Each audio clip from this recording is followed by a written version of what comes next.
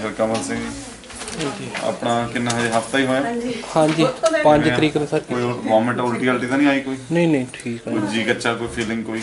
ਨਹੀਂ ਠੀਕ ਆ ਗੈਸ ਪ੍ਰੋਬਲਮ ਸੀ ਉਹ ਫੇ ਦਹੀਂ ਲੱਸੀ ਨਾਲ ਠੀਕ ਆ। ਅੱਛਾ। ਹਾਂਜੀ। ਤੇ ਦਾਲ ਸਬਜ਼ੀ ਕਿੰਨੀ ਇੱਕ ਕੌਲੀ ਖਾ ਲੈਂਦੇ ਹੋ ਸਬਜ਼ੀ ਦੀ ਜਾਂ ਦਾਲ ਦੀ? ਹਾਂਜੀ ਦਾਲ ਦੀਆਂ ਦੋ ਕੁ ਕੌਲੀਆਂ। ਦੋ ਕੌਲੀਆਂ ਮਸਰਾਂ ਦੀ ਖਾਣਾ ਦੀ ਅੱਛਾ। ਦਿਖਾਓ ਇਹਨਾਂ ਨੂੰ।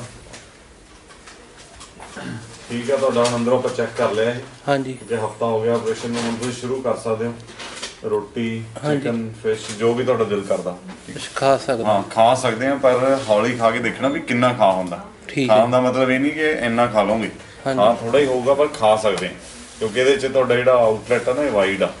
ਨਾਜ਼ੀਆ ਵੋਮਟਿੰਗ ਦੇ ਚਾਂਸਸ ਘੱਟ ਆ। ਅੱਛਾ ਜੀ। ਬਟ ਇਹ ਆ ਵੀ ਜ਼ਿਆਦਾ ਨਹੀਂ ਖਾ ਹੋਊਗਾ ਥੋੜਾ ਖਾ ਕੇ ਪੇਟ ਭਰ ਜਾਊਗਾ। ਠੀਕ ਹੈ। ਸਲੋ ਚੱਲੋ।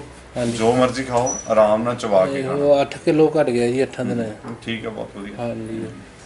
ਬਸ ਇਹ ਵੀ ਥੋੜਾ ਖਾਣਾ ਚੰਗਾ ਖਾਣਾ। ਡਾਈਟ ਹੈਲਦੀ ਚਾਹੀਦੀ ਹੈ ਠੀਕ ਹੈ ਉਹਦੇ ਨਾਲ ਫਿਰ એનર્ਜੀ ਲੈਵਲਸ ਆਪਣੇ ਪੂਰੇ ਰਹਿੰਦੇ ਆ।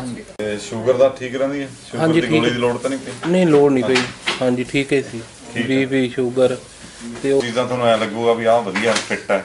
ਜੀ ਜੀ। ਪੇਸ਼ੈਂਟ ਦੀ ਬਾਡੀ ਡਿਫਰੈਂਟ ਆ। ਜੀ ਜੀ। ਤਾਂ ਉਹ ਤੁਹਾਨੂੰ ਆਪਣੇ ਆਪ ਪਤਾ ਲੱਗ ਜਾਂਦਾ ਹੈ। ਕਈ ਹੁਣ ਸਾਨੂੰ ਦੱਸਦੇ ਆ ਜੀ ਜਿਹੜਾ ਮੱਝ ਦਾ ਦੁੱਧ ਨਹੀਂ ਚੰਗਾ ਲੱਗਦਾ ਲੱਸੀ ਵਧੀਆ ਲੱਗਦੀ ਹੈ। ਅੱਛਾ ਜੀ।